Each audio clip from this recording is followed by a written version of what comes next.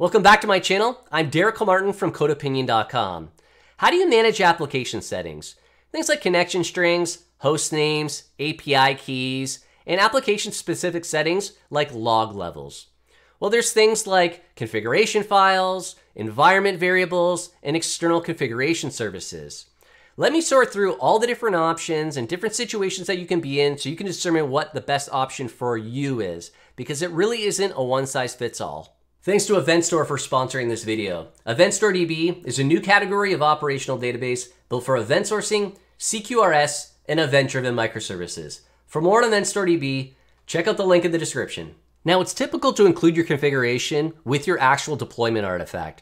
I mean, when you go through your deployment process, whether it actually be your configuration is physically in code, whether it's compiled or not, or if it's some separate JSON file that lives with your code that at startup, it reads that file, this is pretty typical of just having your deployment pipeline and your configuration with your application as it's deployed.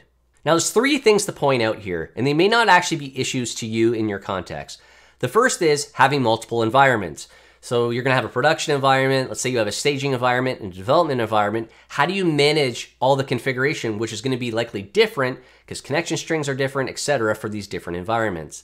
Speaking of connection strings, the second point here are secrets and sensitive information that you don't want in actual code or config files in source control.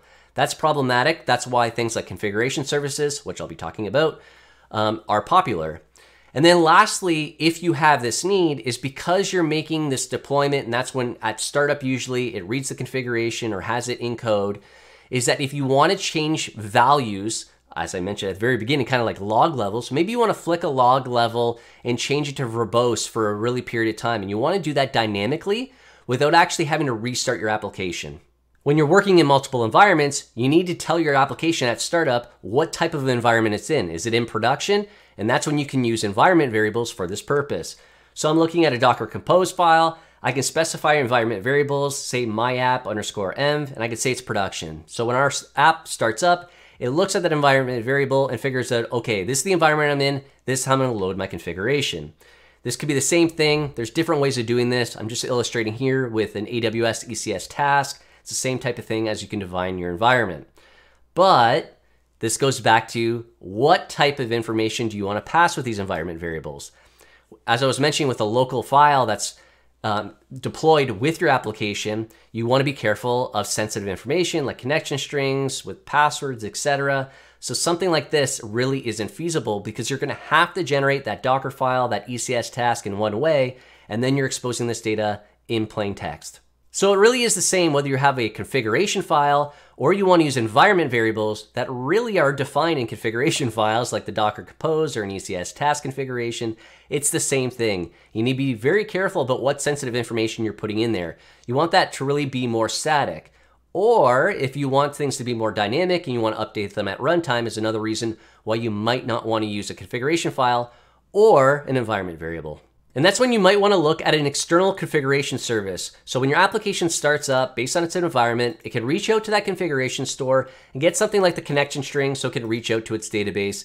So that sensitive data of that connection string isn't in a local configuration file, it's not an environment variable, it's in a secured configuration service. And how this applies to that dynamic data is that your application, not just that startup, but on some interval, could pull that configuration service to get updated values if something changed. Whatever that interval may be, that's context specific. And depending on the tooling you're using, you might not have to pull and might be able to push that data to you if a value changes. Now, if you've watched any of my videos, you know now the next question should be, what about availability? When my application starts up, what happens if this configuration store is unavailable for whatever reason, networking reasons? I need to be able to actually start the application up. Well, what you need is to have some local cache copy of what the last known good configuration was. So that means that you can reach out to that cache copy if the config store is down and then still be able to operate like normal. Now, how this works is if obviously if you have multiple instances running, they will just get when it is available, that configuration is that's when you store it. And then that way you can just use it as need be. If you have other instances, they would just be sharing that cache copy. As the example, if you're using like something like um, in AWS, you could be using EFS so that each instance could be using that shared copy and writing to it when changes occur. So that way, if at any point there's your configuration store is unavailable, your applications, if they restarted or you needed new instances to start up, they wouldn't necessarily need the configuration store to be available. They'll have a cache copy of the last known working copy. I mentioned at the very beginning, there really is no one size fits all. There's different needs depending on your context. There's nothing wrong with having configuration files that are deployed with your application. There's nothing wrong with that, assuming that those values are fairly static and you don't need to dynamically update them. As well as there's no sensitive data in there that you might not want to have in source code because if it's a built part of it, that as long as that information is kept secret.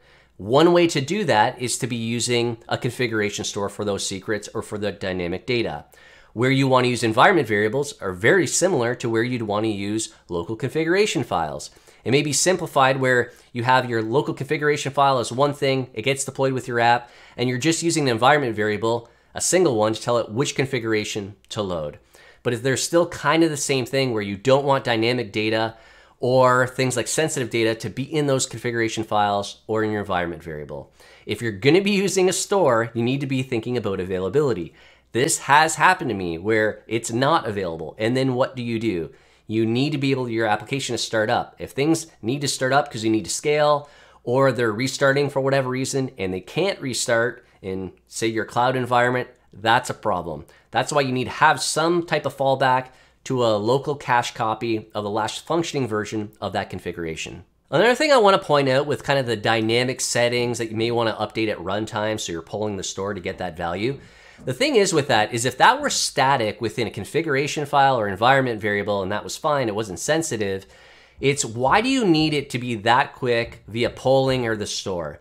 Can you actually build your application that fast? I'm not saying depending on what your situation is, but if you can make that change in code, build your app, go through the whole pipeline, and that's very fast, then you don't really even need to think about that being in a store and something that needs to be dynamic and updated at during runtime. So the reasons why you think about using a configuration service are because you really do need dynamic override at runtime. You had shared configuration between apps. If you have multiple different apps that share some type of configuration in multiple instances. And of course, probably the most important of them is you have secrets and sensitive data. Now, some of the trade-offs and downsides is that you can have startup failures like I mentioned. If you are gonna be doing dynamic changes at runtime, how are you dealing with those push-pull of getting that data?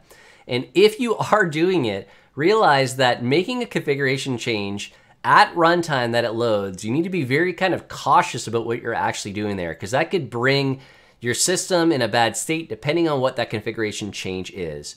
And lastly, it's debugging. It's really difficult if you're getting all your data from a configuration store, especially if it's in production. You don't really have the same type of access to invisibility into what's actually loaded.